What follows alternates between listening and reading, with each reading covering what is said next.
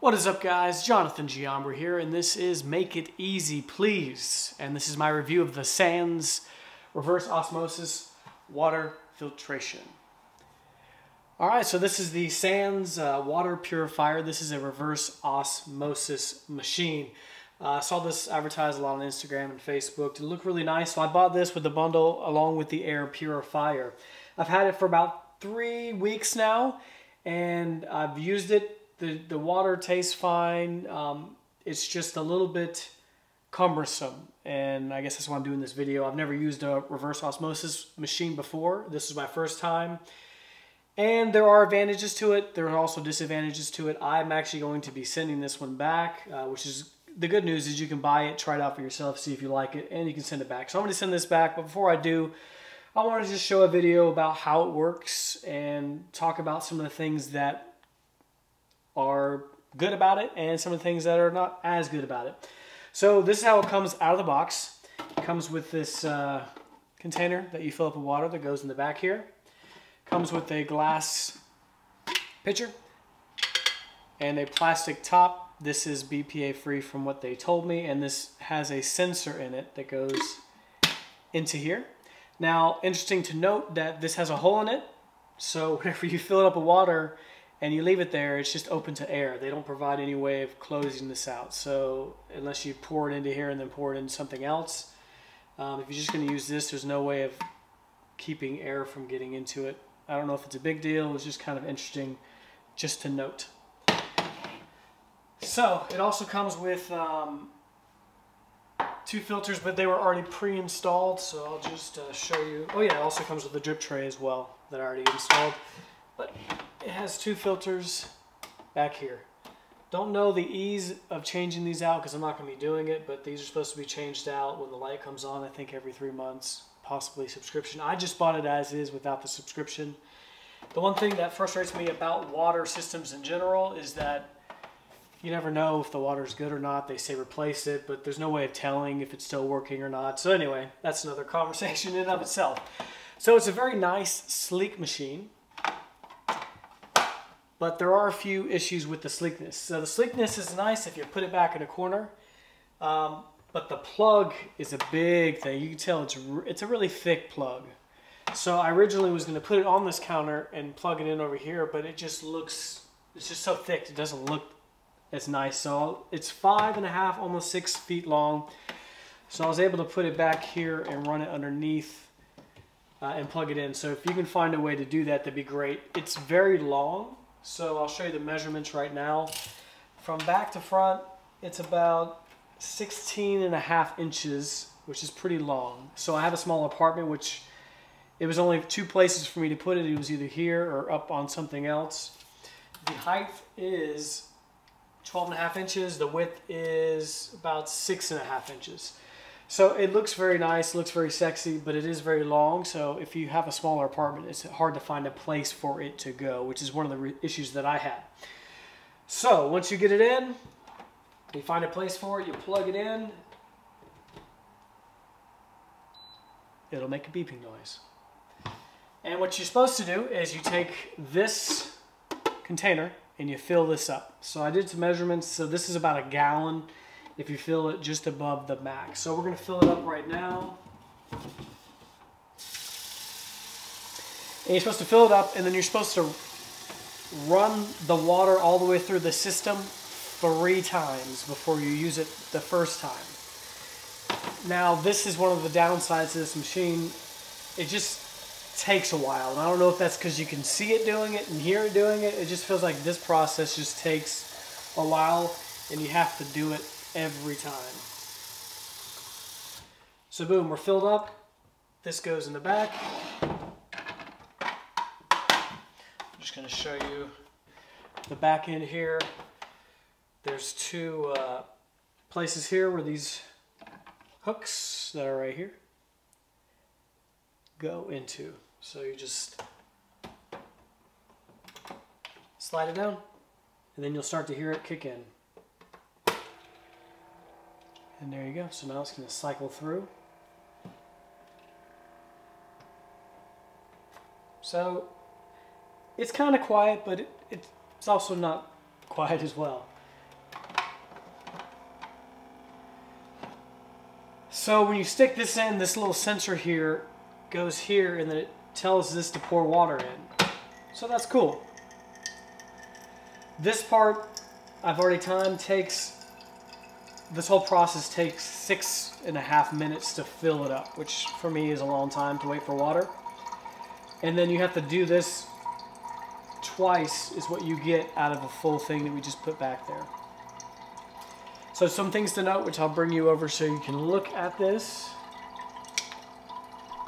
is, you can see here, uh, UV. So this is a, supposed to be cleaning the water. Uh, this number does change. I don't know what the number necessarily means, but it goes up and down based on the water. You have a hot water button and a dispenser button and a reset button. So while it's filling this up, here's an issue that I found. There's no way to stop it when it's automatically doing this. See, I'm pressing that. It doesn't do anything. Very interesting. So the only way to stop it is to pull it out. But then you see water goes everywhere.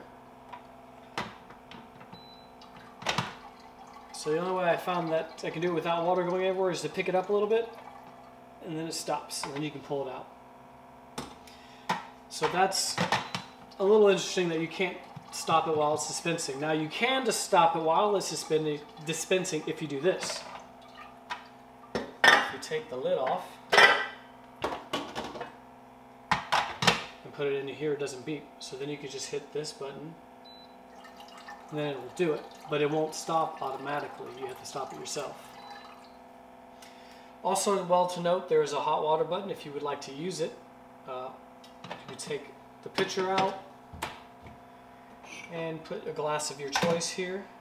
You just hit the hot water button, it'll turn red, and then you hit the dispense and it'll come out. Now one thing I've noticed is it takes a second to warm up, so this is not hot yet. Now it is turned hot, so that seems to be something that happens every time. Once it, once you get it warmed up, let me see here. Yeah, once it warms up, it's hot, but that initial dispense is not hot. So if you've been using it for uh, original filtering, it will take a second to warm up, which is a little bit of a downside. So then you just turn it off. We are going to put the lid back on. And once again, boom. It'll make the noise, but you see, you can't turn it off. And you can't do hot water either.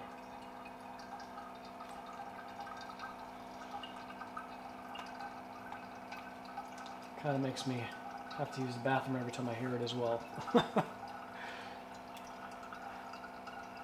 so the cool thing is you can pull it out now, pour the water out. Let's see how it drips like that. You can pour it into a cup. And then as soon as you put it back in, it'll it'll fill all the way up to about right here. And it's about uh, a quart and a half. So you put roughly a gallon of water in here and you get three gallons of water to drink. But here is where the downside is. You have to then throw away the remainder of the water in here, which I didn't know about reverse osmosis system. So it cleans the water, but then it creates waste water. And that water has to be thrown out. So for me, it just seems like a waste. Uh, even though it is being poured into a sink um, and it is staying within the system, it still seems like a lot of waste to throw away a quart of water every time you use this. But as you can tell, it it's basically brewing water. This part takes a while. Alright, so we're going to let this finish, then we'll come back. Alright, so it's still going on here a little bit longer, but I failed to mention it does come with this huge uh, how to get it all set up kind of guide. It was a little confusing to me since I've never used reverse osmosis. I uh, didn't realize you had to throw away the wastewater and then I didn't know what it meant by running through it. So, but basically you run through it until up here says fill and you do that three times. But this also has a little scanner thing here, tells you how to do it. It's a little unclear, but I figured it out. Alright, so we're getting to the end. And you can hear this thing makes noise the whole time. It'll make this noise until it stops siphoning the water through.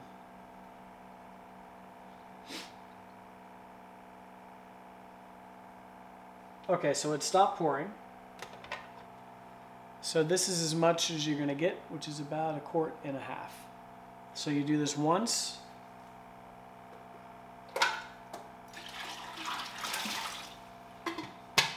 And then you do it again until up here says fill, it'll, it'll stop, which means you can pull it out and push it in and it won't do water anymore. So you do that three times to get your machine set up and then you could just do it as normal. Like I said, this process just takes, just seems like it takes forever.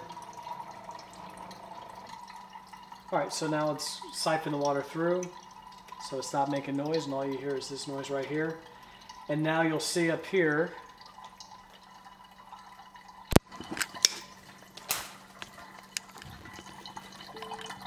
says fill. So when that light blinks, that means you got to fill it up, but I'll show you when this is done filling up what that means. Okay, so it stopped producing water, so then you would just dump this out. And this is for the setup, obviously.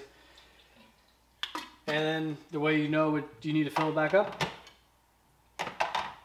is you put it in, it won't dispense any water. You can do it this way, hit dispense, it won't dispense any because there is no water. Now here's the cumbersome part, and one of the reasons why I'm returning it is because this part, like I said, I had, I had it set back here. So in order to refill this up, you have to come back here, lift this up, and pull out this plastic thing, and this was confusing to me at first, never using one of these. So this is wastewater. Now, when I first did this, I accidentally put this back in because I was confused and it started to suck this water up. So you could technically reuse this water, but the manual recommends not to do that because it will damage the system over time. So this is wastewater. So this is about a quart of water that is produced that gets tossed in the drain every time you do this. Every time you have to toss it out and then you fill it back up again. So this is the just inconvenient part for me. This just takes this takes time. And you have to remove it and you have to dump out the water and then you have to refill it. Because I was like, oh, why don't you just put it next to the sink and just fill it up? Well, you can't. You have to throw out that water. So once again, same thing, you fill it up. And then you pick it up. It's a little awkward because is about a gallon of water. And it goes in the back. Sets down. And the process starts over again.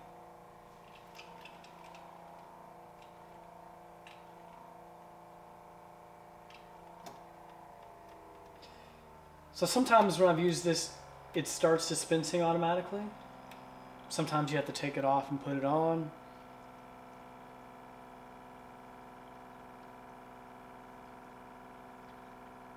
So yeah, I guess I'm gonna have to do this until it beeps.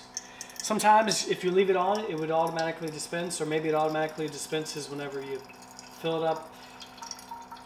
But needless to say, it'll do this. The water I mean, tastes fine as purified water.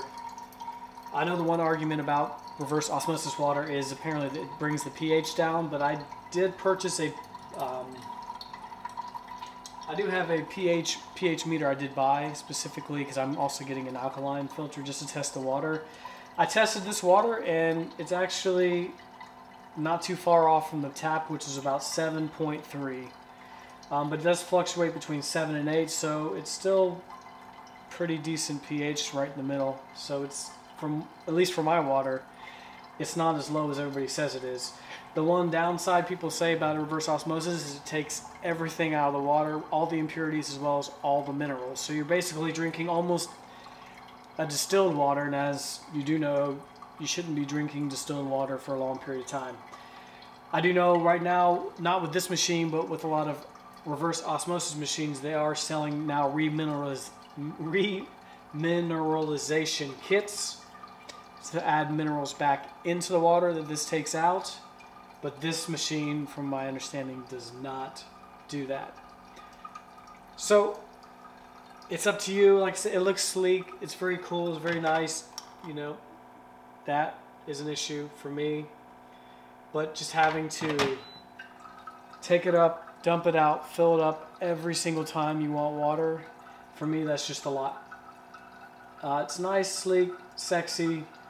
I mean, water tastes like water to me. So, yeah. Hopefully, this helps.